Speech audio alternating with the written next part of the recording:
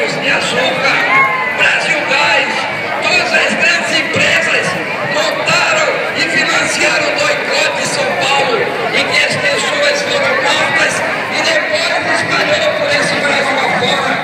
E aqui em Pernambuco, e aqui no Brasil, eu gostaria nesse ato reverenciar todos os companheiros que foram mortos, sequestrados, torturados em defesa da democracia e da liberdade.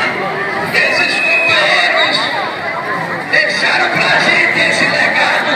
E esse legado será defendido a todo custo. E quem é que apoiou as torturas e os assassinatos foi justamente essa classe política hoje que se manifesta, que está comprometida com o diante mais atrasado neste país.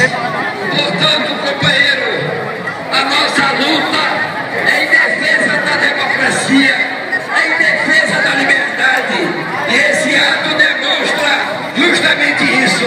Não é um ato que representa nenhum partido político, não é um ato que representa justamente as forças progressistas desse país, as forças democráticas, aquelas que não se curvam diante da prepotência do arbítrio, porque a democracia custou o sangue, suor, lágrima e dores de muitas famílias, inclusive a minha família, que teve Fernando Augusto torturado, sequestrado e desaparecido, junto com centenas de companheiros.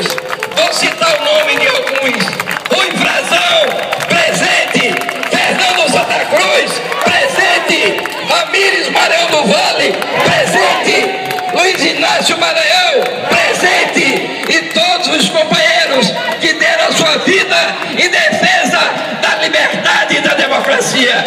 Não vai ter golpe, vai ter luta, não vai ter golpe, vai ter luta, não vai ter golpe, vai ter luta. Não vai ter golpe. É isso aí, Marcelo Santa Cruz.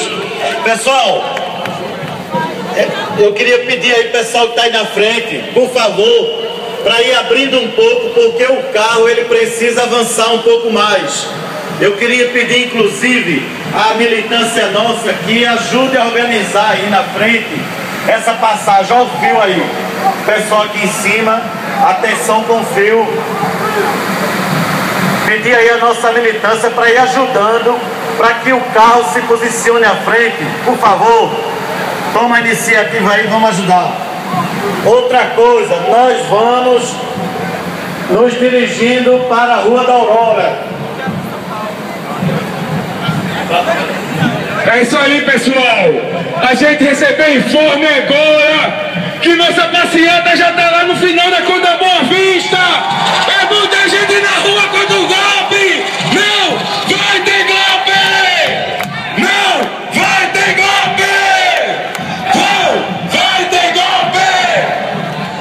Gente vai até a Praça do Diário, como a gente fez na última caminhada. E vamos pedir para os companheiros irem afastando.